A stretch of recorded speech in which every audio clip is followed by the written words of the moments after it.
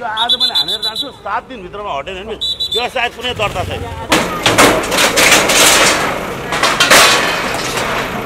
खसी बेता बोके बो बोका बेचियाहरू यतिवटा भत्कायो भने अनियमित रूपमा भएका सबै हट्नु मैले देखाएको छु त्यहाँ भागलपुर पार्टी प्यालेस पछाडिको सार्वजनिक जग्गा संरचना नसोइकन आउने यी- यी- यी तिन वर्ष भयो तिमीलाई दिएको ट्याम तिन वर्ष यो त अगाडि त भत्काएर जान्छ। तिन वर्ष भयो तिमीलाई दिएको ट्याम मेरो जुडो छेक्यो हटाइदियो बाबा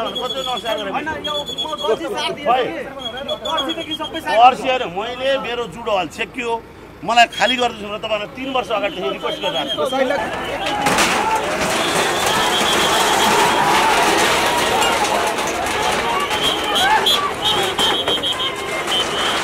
अनि आफैले मात्रै फोन गरेर यहाँले भनिरहेछ कि यसरी मलाई केही थाहा थिएन मेरो बाबाले अहिले भर्खरै नै बित्नु भइरहेछ। मसँग बाबा पनि छैन अनि कसरी हुन्छ यसरी जहिले पनि हामी यसरी गर्छौँ। दिन अगाडि भन्नु एक दिन अगाडि आएर भन्नु। यो हटाउनु भनेको हामीले हटाएन भने यसलाई भत्काउनु। तर महानगरपालिकाले त पटक पटक मागेका कसैले बनाएर दिएको छ बनाउने कसैले दिएको छ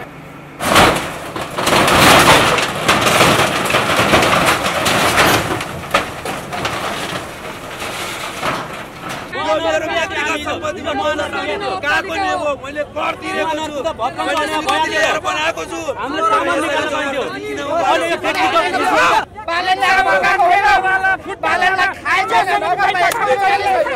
यो उहाँहरूले पनि देख्नुहोस् वर्षौँदेखि नक्सा यसरी कोरी कोरी यो जग्गा ओडाबाट स्वीकृति लिएर यो घर निर्माण गरेको।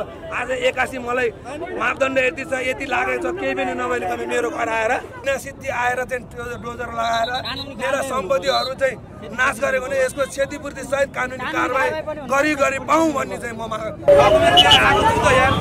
के गरेको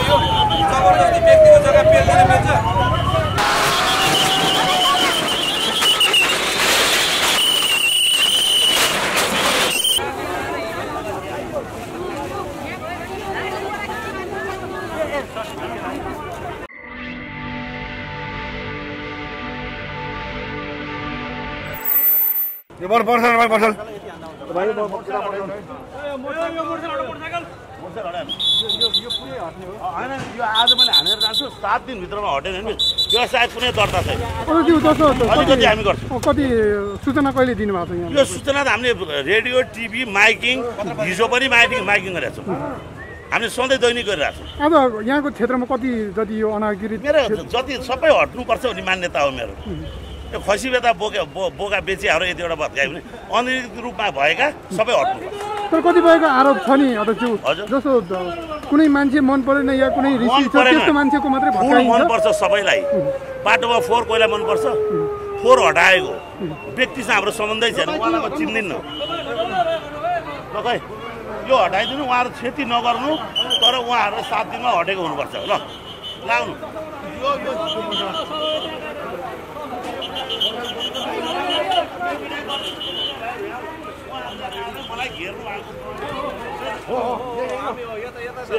उहाँहरू वर्ष भयो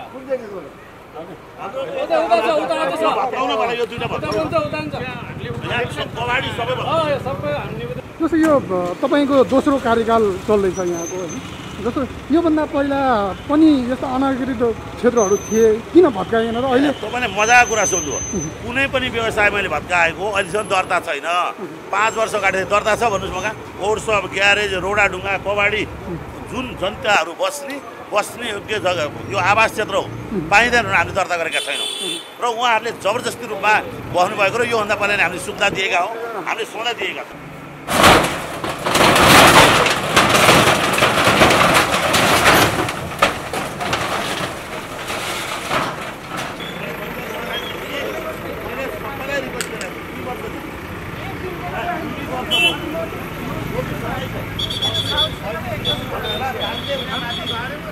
Vale, no te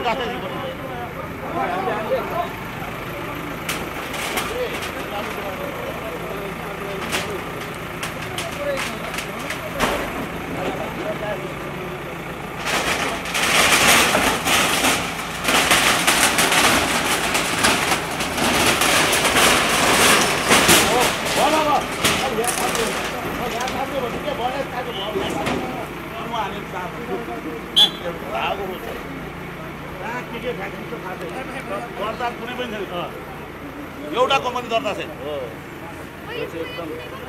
दर्ता छैन हामीमा कोर्समा दर्ता हुँदैन दर्ता हुँदैन ठुलो हुँदैन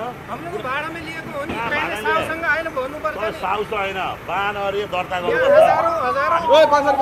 चलिरहेछ त्यही भएर त आइरहेको छ त्यही भएर आइरहेको छ त्यही भएर आइरहेको छ दुई वर्ष अगाडि भयङ्कर अब दुई वर्ष अगाडिदेखि होइन कि मेरो ओडामा चार वर्षदेखि तपाईँहरू कुनै पनि workshop garage road and company आवास क्षेत्रमा दर्ता छैन। मैले गर्दिनँ। म पहिला कालले कार्यकालले पनि वडा चाहिँ हो। मैले कुत्यो नि जस्ता तान न त्यहाँ तान हो मैले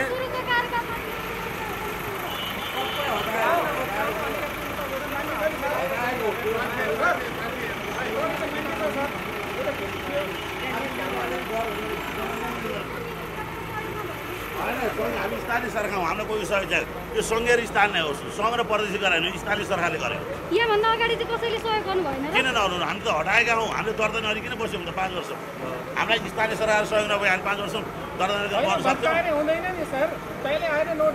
सबै नोटिस छ, तपाईँहरूलाई। नै नै व्यक्ति व्यक्तिले हामी दिन सक्दैनौँ होइन जबरजस्ती हो नोटिस दिनुपर्छ त्यो जबरजस्ती भत्काएर यहाँहरूले चाहिँ कति दिनको अल्टिमेटम दिनुभएको छ आवास क्षेत्रमा हजुर तपाईँको। कारखाना उद्योग खोल्न पाइँदैन। के हो? व्यापार जगाइकन आयोजना र सहमति जगाइकन आयोजना भनेका मान्छे आयोजना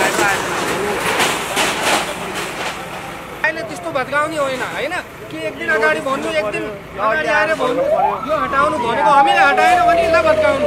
तर महानगरपालिकाले त पटक पटक मागेका कसैले बनाएर दिएको छ बनाउने कसैले दिएको छ कुनै भन्छु नि हो पन्ध्र तिन वर्ष भयो। तिमीलाई दिएको ट्याम तिन वर्ष यो त अगाडि त भत्काएर जान्छ। तिन वर्ष भयो तिमीलाई दिएको ट्याम मेरो जुडो छेकियो हटाइदियो बाबा कति नक्सा पर्सि होइन मैले मेरो जुडो हल छेकियो। मलाई खाली गरिदिनु भने तपाईँलाई तिन वर्ष अगाडिदेखि रिक्वेस्ट गरेर आएको छु।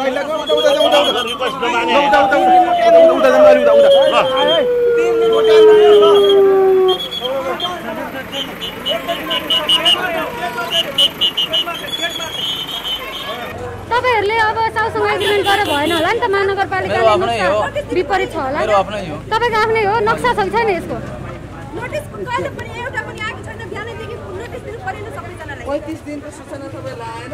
आएको छैन एउटा पनि आएको छैन। केही नोटिस आएको छैन के? केही भनेको छैन फेरि फोन पनि गरेको छैन के? आफैले आएर होइन यस्तो यहाँ भित्र अब आउला भन्ने कसैलाई थाहा भयो। उनीहरूलाई थाहा नभएर हो। जस्तो तपाईँहरूको जनप्रतिनिधिले अहिले भर्खरै पनि भन्नुभयो तपाईँहरूले यत्रो टाइम समय दिँदा पनि उनीहरू इन्डियन हो उनीहरूलाई त्यति थाहा पनि भएन। अब त्यही भएर उनीहरूलाई थाहा- यहाँभित्र आउला भन्ने कुरो उनीहरूले सोचे नि थिएन त्यही भएर न थाहा नपाए भएर एक्कासी थाहा भयो फेरि यसको जम्मा टाइम पनि जम्मा दुई महिना है तिन महिना। टाइम पनि कि तपाईँले भनेर जानुभयो भने उसले बिस्तारै हटाउने वाला थियो तर तपाईँ यत्रो यो सामाजिक सञ्जाल हेर्नुहुन्छ। यो अहिले अनाकृत जति छन् यो संरचनाहरू भत्काइरहेको छ होइन? त्यो चाहिँ तपाईँहरूले बुझ्नु पर्थ्यो नि तपाईँहरूले खोज्नु पर्थ्यो हाम्रो पनि। मेरो होइन। है?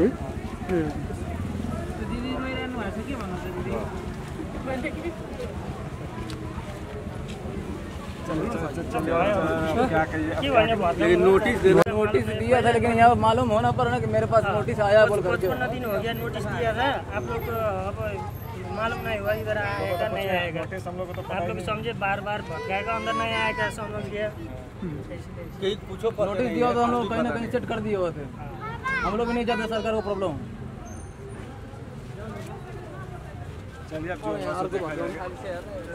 अनि आफैले मात्रै फोन गरेर यहाँले भनिरहेछ कि यसरी मलाई केही थाहा थिएन मेरो बाबाले अहिले भर्खरै नै बित्नु भइरहेछ मसँग बाबा पनि छैन अनि कसरी हुन्छ जहिले पनि हामी यसरी गर्छौँ।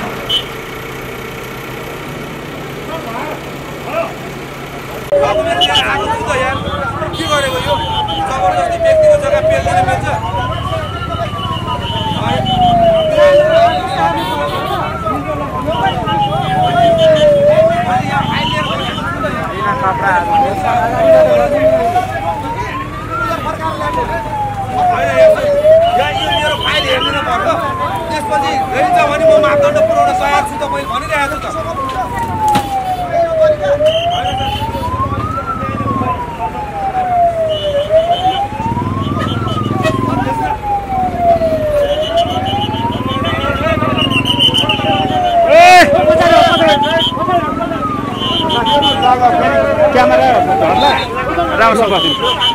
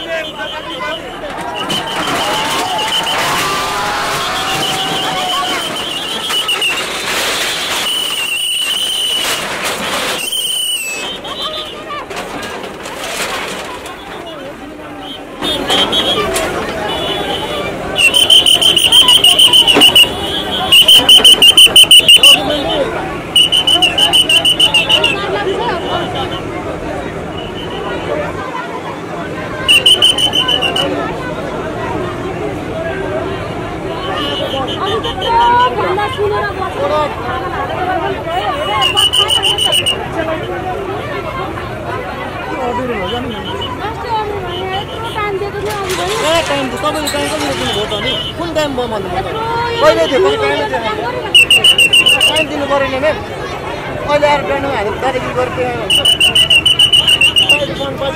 टाइम दिएको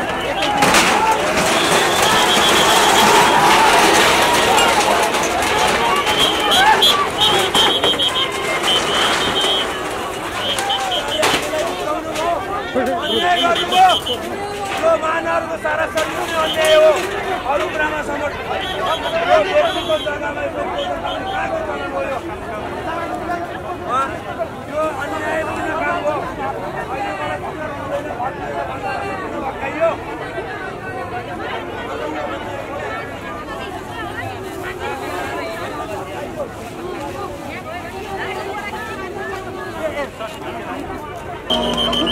परसलाई मैले लगेर मेरो जाति संरचनाको मान्छे है मैले देखाएको छु त्यहाँ भागरपुर पार्टी प्यालेस पछाडिको सार्वजनिक जग्गा संरचना नसोचिकन आउने यी हुन् देखाउँदै नछोइकन आउने। नगरपालिका हाम्रो भन्दाखेरि पैसाको आडमा काम गर्छ हाम्रो पसिना खान्छौ अनि पैसाको आडमा काम गर्छौ मैले यो डकुमेन्ट हेर भन्दा पनि हेरेन। यो वडा हेर भन्दा पनि हेरेन।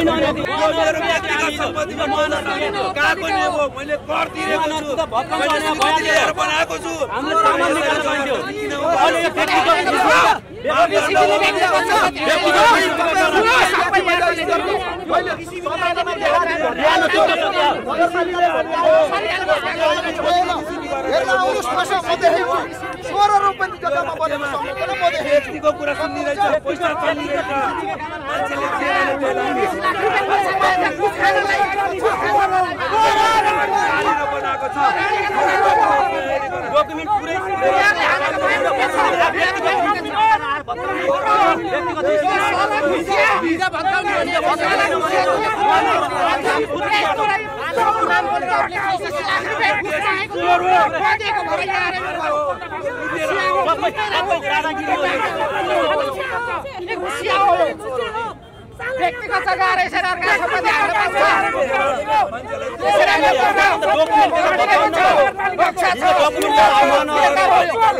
बालनलाई भगाएको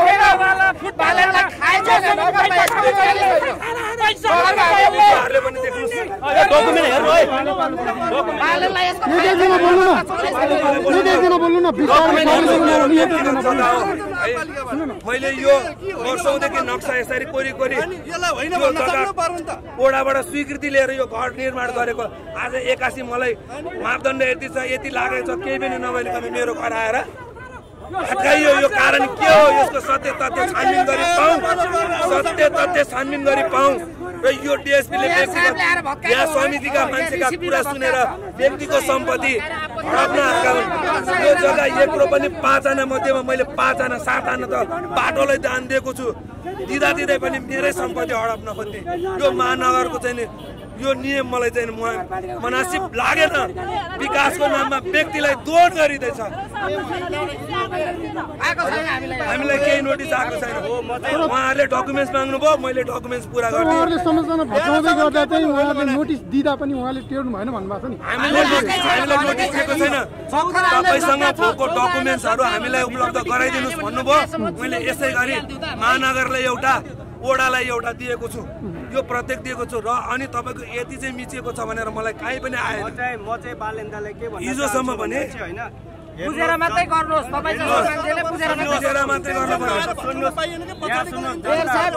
बुझेर मात्रै काम गर्नुहोस् सरकारी जग्गा हुन् भने हटाउनुहोस्?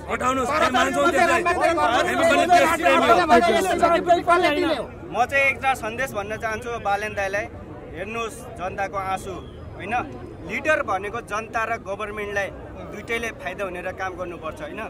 अब हेर्नुहोस् न जनताहरूको आँसु। यो नोटिस भनेको तिन महिनाको चाहिँ राख्नु पर्थ्यो होइन?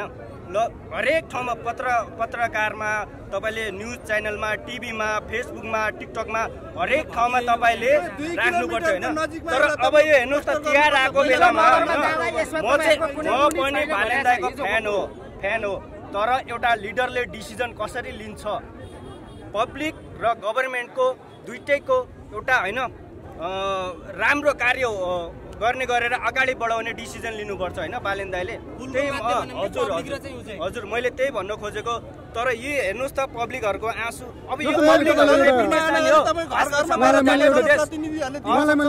पासपोर्ट समाएर बिजनेस जाने यस्ता संरचनाहरू भत्काउँदैछ भन्ने कुरो त तपाईँले अ, सामाजिक सञ्जाल मार्फत अनेक कुराबाट थाहा थियो होइन? यो हुँदा तपाईँले अलिकति जानकारी पहिले नै यस्तो हो भनेर बुझ्नु मैले त्यो जानकारी पाएपछि मलाई ओडाले चिठी पनि दिएको हो।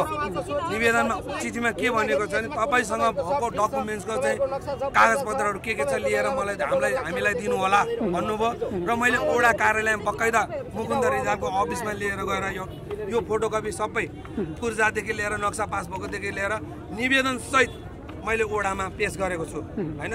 अनि त्यसपछि महानगरमा यो के हो त भनेर महानगरमा पनि हिजो गएर मैले निवेदन पेस गरेको छु। महानगर र ओडाले हिजोसम्म मलाई तपाईँहरूको व्यक्तिगत सम्पत्तिमा हाम्रो डोजर लाउने कुनै ऊ छैन।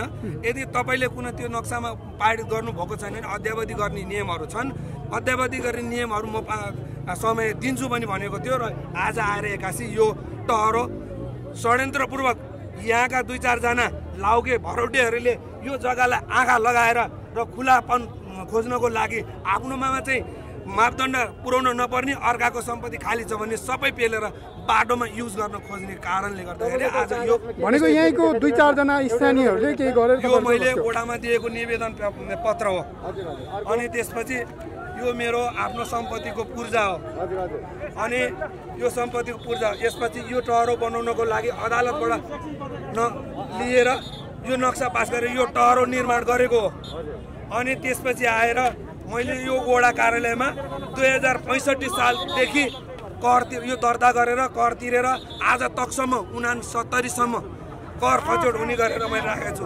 त्यहाँमाथि योभन्दा अगाडि पनि मेरो आफ्नो पारि पारिवारिक सम्बन्ध ओडाले उपद्रो गर्न लाने ओडालाई त्यहाँ अन्तरिम आदेश जारी पनि भएको छ।